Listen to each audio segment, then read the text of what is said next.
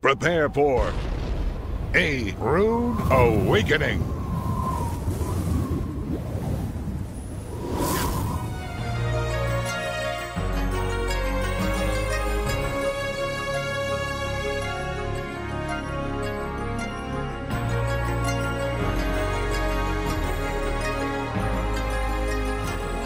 Shalom, Torah fans.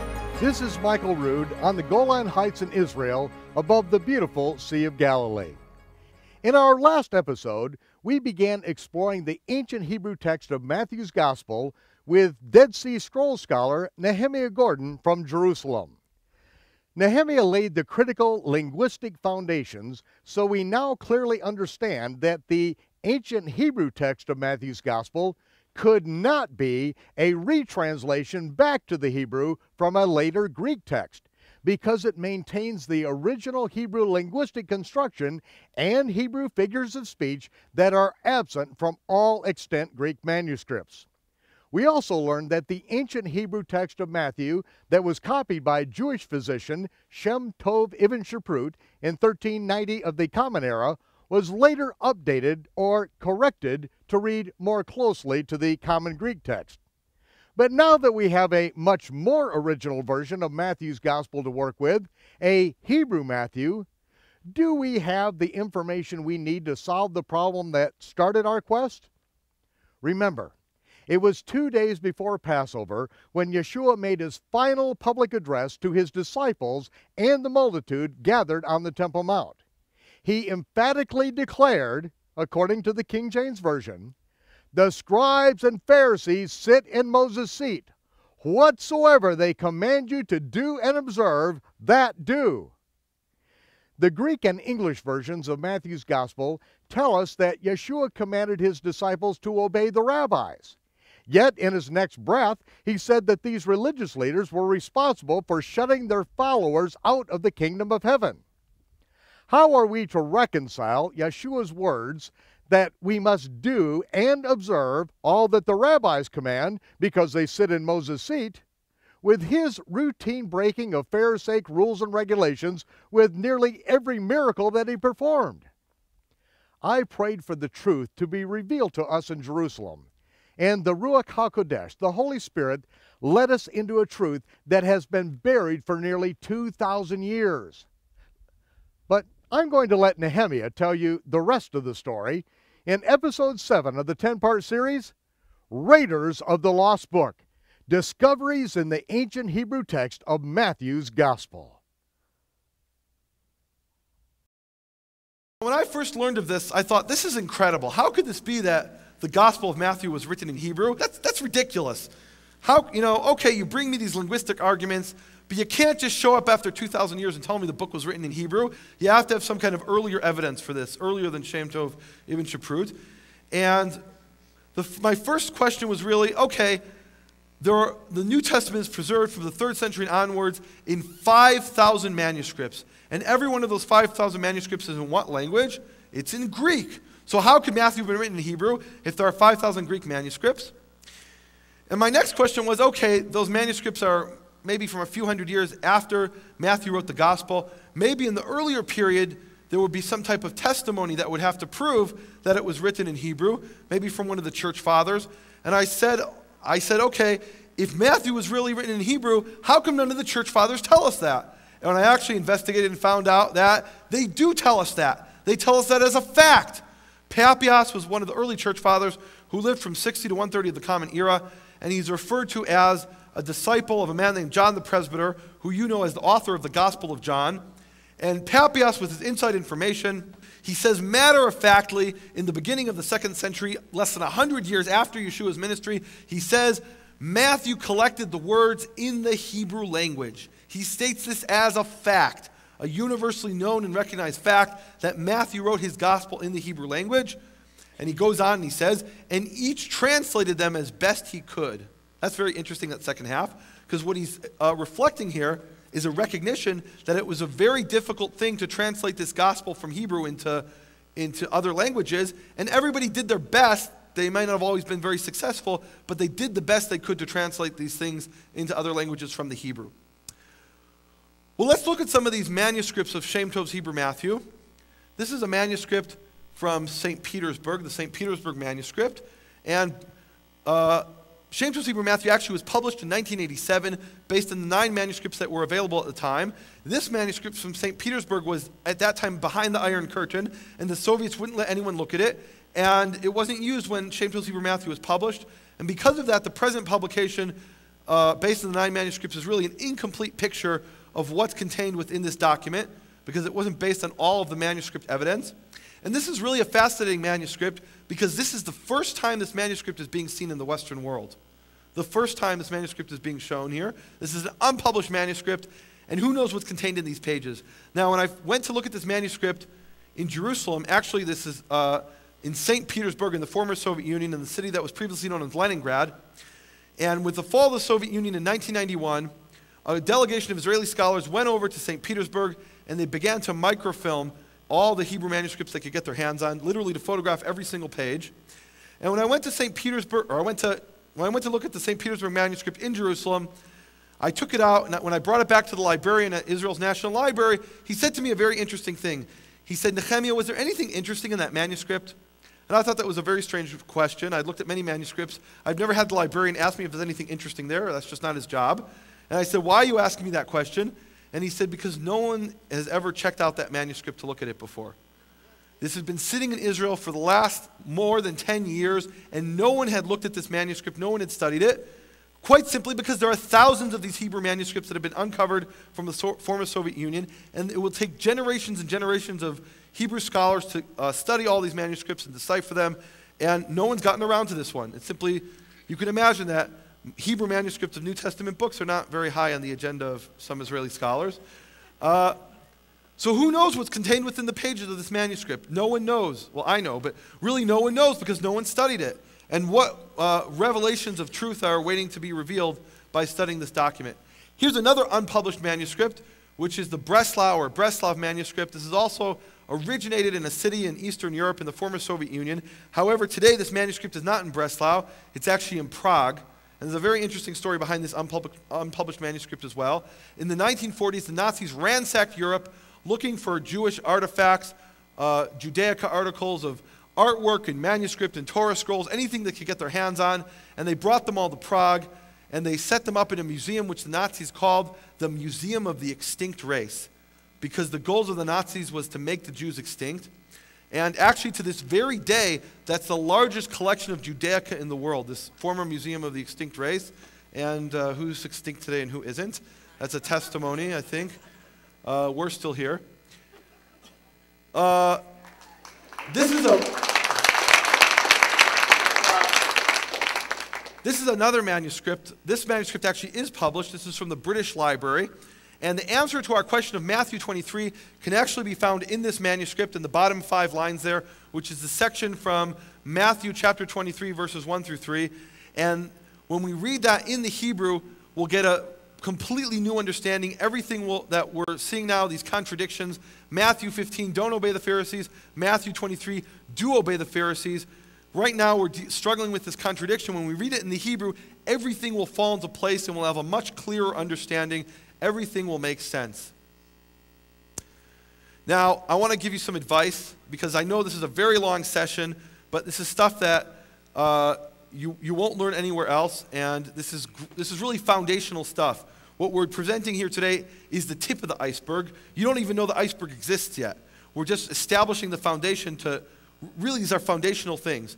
And uh, here's the book that I wrote on this. It's called The Hebrew Yeshua versus the Greek Jesus. And as you may have guessed, the reason I've called it that is that uh, the way Yeshua's words are presented in the Hebrew Gospel of Matthew is fundamentally different from the way they're portrayed in the Greek uh, version. And that's why I call it the Hebrew Yeshua versus the Greek Jesus. And I, I highly recommend this book because this is really foundational stuff. And there's a lot more that I wasn't even, I'm not even going to be able to present here today. So really, I recommend you get this book and read it a few times, give it to your friends and to your rabbis and your pastors so they can also share on, especially your rabbis and pastors, so they can share on this uh, very important topic, which really I lay some of the really foundations, which in future years uh, you'll see that amazing things are going to be revealed from this, this Hebrew Gospel of Matthew. So in Matthew chapter 23, we've seen that Yeshua says the scribes and the Pharisees sit in Moses' seat. They have this Mosaic authority. All therefore whatsoever they bid you observe, that observe and do, but do not ye after their works, for they say and do not. And here it really sounds like, Yeshua is saying very clearly, you must obey the Pharisees. They sit in the seat of Moses. You must obey whatever they command you to do if you're going to be obedient to what Yeshua says. Uh, well, we've already seen this doesn't really make sense. Matthew 15, Yeshua warns his disciples not to do according to the ways of the Pharisees. Their traditions of the elders transgress the Torah. However, in Matthew 23, saying, Obey whatever they tell you to do. If they tell you to put your uh, right shoe on first in the morning, you better obey them because they have Mosaic authority. What's going on here? Well, the answer is here in the Hebrew. And if you can read this uh, old Hebrew script, and you can already, you already know the answer. This is what it looks like transcribed into modern Hebrew print. And what Yeshua says there in Hebrew Matthew chapter 23, verses 2 to 3, Yeshua says, Al kisei Moshe Yeshua pirushim v'chachamim, v'ata כל אשר יאמר לכם שמרו ועשו, ובתקנותיהם ומעשיהם אל תעשו, שהם אומרים והם אינם עושים.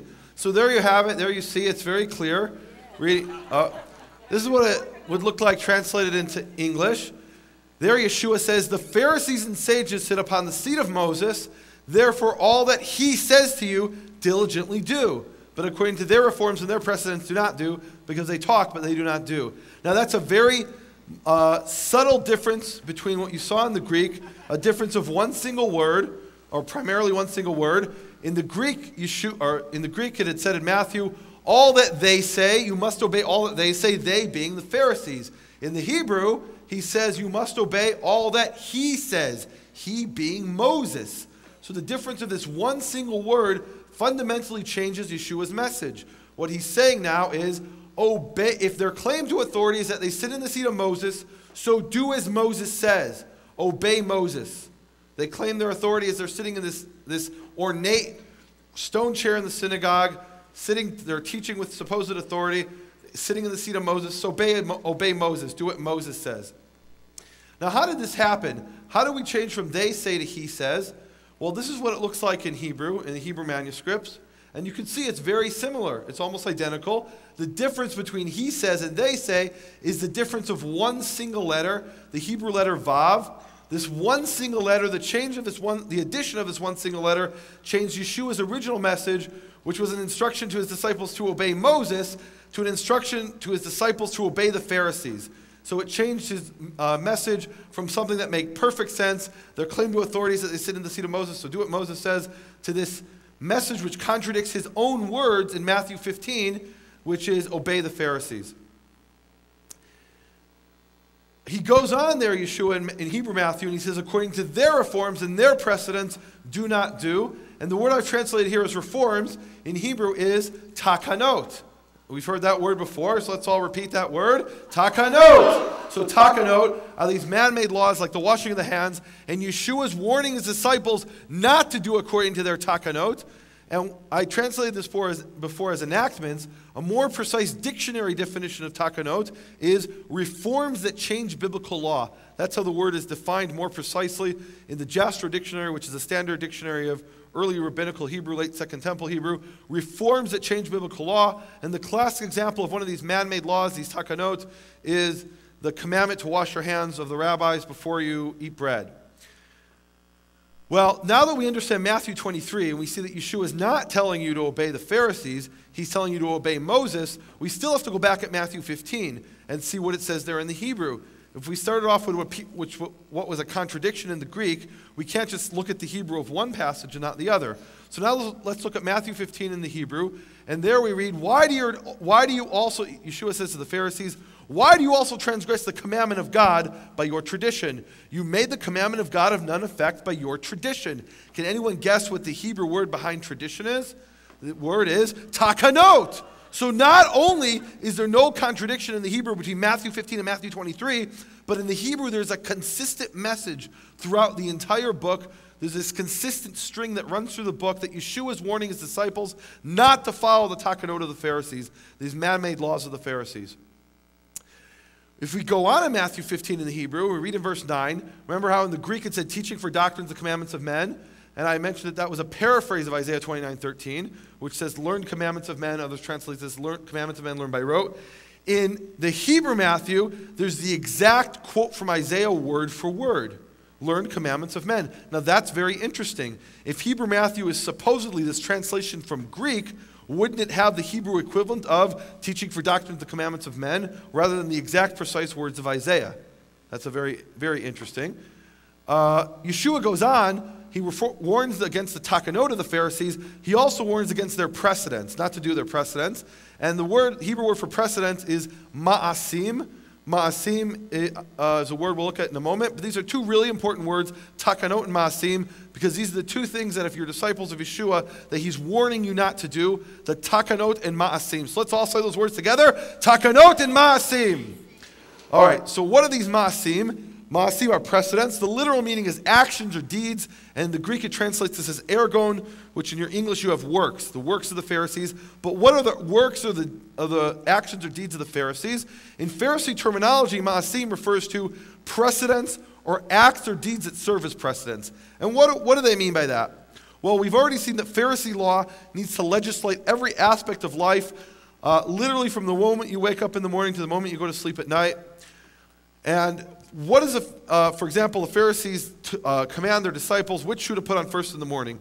So, what does a Pharisee do when he comes to a new situation where, he, where uh, the oral law doesn't tell him what to do? For example, if he lives in a country where you don't have shoelaces, and he doesn't know which shoe to put on first in the morning because he doesn't know which one to tie first because there are no laces. So, what he does is he combs the oral law looking for instruction, and he combs tradition and uh, man made laws, and if he can't find any instruction on which shoe to put on first in the morning, if there are no laces, then he goes and he looks at the precedents of one of his rabbis. Meaning, he looks and he says, We know that such and such a rabbi on such and such an occasion put on his right shoe first, even though he didn't have laces, and that becomes a precedent. That then establishes what the proper norm, the proper standard of behavior is. The assumption is this rabbi could not be sinning, and if he put on his right shoe first, even though he didn't have laces, that's the proper standard for behavior. And what Yeshua is saying is don't look to the precedents of the Pharisees as the proper standard of behavior. Don't do according to their precedents. Do as Moses says, not according to their takanot and their ma'asim. Let's look quickly at, at, a, at an example of a precedent. This is a precedent brought in the Talmud, and it says a ma'aseh. Ma'aseh is singular for ma'asim, so a precedent. A precedent which Rabban Gamliel, you probably thought it was pronounced Gamaliel, uh, the correct pre- Hebrew pronunciation is Gamliel. And Gamliel, as you all know, is, was the, the Pharisaical teacher of Shaul of Tarsus, of Paul. However, this is Gamliel's grandson, Gamliel II. So a precedent which Rabban Gamliel II and the elders were traveling in a ship when a Gentile made a ramp on which to descend, and Rabban Gamliel and the elders descended by it. Okay, so what on earth is this talking about? The Pharisees start off with the principle that if somebody builds something for you on the Sabbath, you may not use that. If they build a ramp for you on the Sabbath, you may not use that ramp. And so then they ask the question what if the ramp is built on the Sabbath, but it's not specifically for me? May I use that ramp? And the oral law doesn't tell them what to do. So they go and they say, okay, we remember that one time Rabban Gamliel II descended on such a ramp, and that tells us that this was the proper behavior and that such a thing is permissible. In other words, the behavior of the rabbi in a specific circumstance becomes the standard by which uh, one should behave by in the future. And what Yeshua is warning his disciples is don't do according to their takanot and don't do according to their maasim. Their claim to authority is that they sit in the seat of Moses, so do as he says. Do as Moses says. Now, what we've seen up until now is that the words of Yeshua in the Greek, what we may venture to call uh, the Greek Jesus, because that's what he's called in Greek, Jesus, Jesus. The Greek Jesus, he's coming and he's changing Torah, adding to Torah, taking away. He's saying, oh, don't worry about not adding to the Torah. Do whatever the Pharisees tell you to do. If they tell you what shoe to put on first in the morning, put on that, put on that right shoe first. Even though that contradicts what he said eight chapters earlier in Matthew 15. Now, we've seen now, on the other hand, the Hebrew Yeshua is actually telling people, do as Moses says. Their claim to authority is they sit in the seat of Moses, do as he says, do as Moses says. So the Hebrew Yeshua is actually, or Yeshua's words, as he's portrayed in the Hebrew Gospel of Matthew, is actually upholding Torah. Now, what about this statement, because they talk but they do not do? When I first read this, my question was, what do they talk and what don't they do? When we read this in the Greek, it's very clear that it's saying they're hypocrites. But now in the Hebrew, we have a whole new context. He's uh, not saying to obey the Pharisees, even though they don't do what they do themselves, what they say themselves. He's saying obey Moses. So what's this they talk and they do not do? What are they talking and what aren't they doing? And when I first read this, I really wasn't sure what the answer was. I wasn't so clear. And the answer came to me in a very roundabout way. Um, I'd received an email a number of years back from someone who was confusing Karaites and Samaritans. I mentioned to you that Karaites are strictly Old Testament Tanakh Jews. Samaritans, of course, you know from the New Testament, are the people the, in Samaria who worship on Mount Gerizim. Let's get a quick rundown of the difference. Karaites, of course, believe in the entire Tanakh, the Old Testament, whereas Samaritans believe only in the five books of Moses, the Torah, and their Torah is actually different than the Torah used by all the other Jews. In the Torah of the Samaritans, it commands them to worship on the high place on Mount Gerizim, which is a mountain just outside of Nablus of Shechem. And whereas the Karaites worship at Jerusalem and turn to Jerusalem in prayer, like King Solomon talks about in 1 Kings 8. Uh, of course, Karaites are Israelites or Jews, whereas Samaritans are Babylonians who were forcibly settled in the land of Israel by the Assyrian kings after the ten northern tribes were exiled from Israel. And the story of the Samaritans is really given in 2 Kings chapter 17, where it talks about how the ten tribes were exiled from Israel, and the king of Assyria didn't want this to be an empty land, so he brought in these people from Cuthia, from Babylon, and settled them into the land of Israel, into the northern part of Israel. And it talks about how when they first settled in the land, they were attacked by a plague of lions. And they said, Why are we being attacked by lions? It must be because we're not worshiping the local God. So they went to the king of Assyria and said, Can you please give us a priest that will teach us how to worship the local God, who, of course, in this case is the God of Israel? So who does the king of Assyria send them? He sends them one of the priests from the ten northern tribes. This is one of the priests that had gotten the ten northern tribes exiled in the first place. And what he teaches them is the ways of the ten northern tribes that had gotten them exiled. And he brings with him the Torah, but he also at the same time teaches them to uh, do according to the ways of these ten tribes, worshiping at the high places, sacrificing outside of the temple in Jerusalem, on Mount Gerizim, and other places. And then in 2 Kings 17, verse 34, it summarizes the ways of the Samaritans, and it says, Until this very day they do according to their former ways, according to their statutes and their judgments. This is how it reads in the Hebrew. They do not fear Jehovah, and they do not do. And then the Hebrew, the words they do not do is isolated in such a way that it emphasizes those words, and then it completes the sentence and says, according to the Torah and commandments that Jehovah commanded the children of Jacob. So, what don't the Samaritans do? They don't do according to the Torah. Now, after I'd read Matthew 23 and then I reread this passage, I realized in Hebrew this sounds very similar. There's a similar style here, and it seemed to me that Yeshua was echoing the words of 2 Kings 17:34 about the Samaritans. And I think what he was saying is that just as the Samaritans of old do according to their statutes and their judgments, and they do not do according to the Torah, so too the Pharisees of his own era do according to their takanot and their maasim, their reforms and their precedents, and they talk Torah, but they don't do Torah. And what does he mean they talk Torah? They're sitting in the seat of Moses, talking Torah to you all day long, but what they're really telling you is not Torah. It's just in the guise of Torah. What they're really telling you are their own reforms and precedents, and they don't really do Torah. So, again, what we've seen up till now is that in the Greek, we have this uh, Jesus is coming along and changing Torah, saying, Obey the Pharisees, whereas in the Hebrew, he's actually upholding Torah. Now, in light of that, how do we explain this passage, Matthew 5? Matthew 5, six times, Yeshua says in the Greek, he says, You have heard it said, but I say. And it really sounds when you read it really sounds like when you read this in English that Yeshua or in the Greek Jesus is coming along and changing entire Torah commandments, adding, taking away, modifying. So what's going on? Did he uphold Torah or did he not uphold Torah? And this is this is especially a, a very difficult textual question because in that very same passage, in verse 17, he says he's not come to do away with one jot or one tittle. So how can he then turn around and a few verses later start changing things, saying, You have heard it said, but I say? Now that we have heard the words of Yeshua in his own language, we understand that he is consistent in his obedience and support of the Torah. He commanded his followers to do what Moses instructed, but he emphatically warned them not to follow the takanot and ma'asim of the Pharisees because of their blatant violation of the commandment to never add to nor subtract from the Torah. This is the very reason why neither they nor their followers will have a place in the kingdom of heaven. This is a stern warning, for all of the tens of thousands of Christian denominations that add their own rules and regulations of righteousness while ignoring the entire Torah itself. Those who favor man made religious systems, which use the name of Jesus, yet ignore the commandments of the Almighty, may be in for a rude awakening of their own on Judgment Day. Join us again next time for episode 8 in the 10 part series Raiders of the Lost Book Discoveries in the Ancient Hebrew Text of Matthew's Gospel. This is Michael Rood in the Galilee bidding you shalom, peace, and I will see you when the smoke clears.